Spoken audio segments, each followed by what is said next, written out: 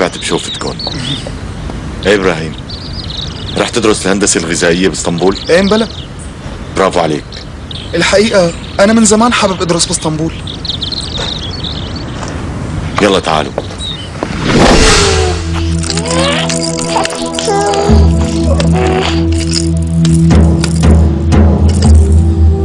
سواء شو اللي عم يصير هون؟